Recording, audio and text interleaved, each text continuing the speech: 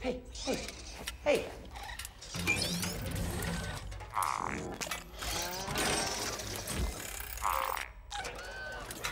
Absolutely not. This is fine Asgardian leather.